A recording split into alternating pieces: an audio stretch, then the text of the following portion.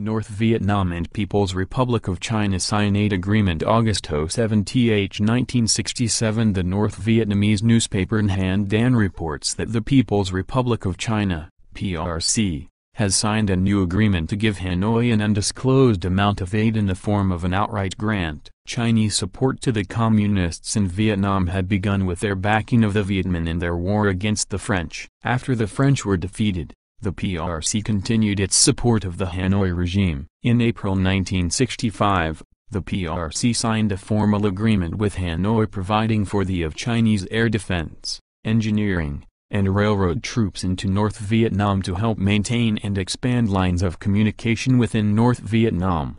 China later claimed that 320,000 of its troops served in North Vietnam during the period 1965 to 1971 and that 1,000 died there. It is estimated that the PRC provided over three-quarters of the total military aid given to North Vietnam during the war.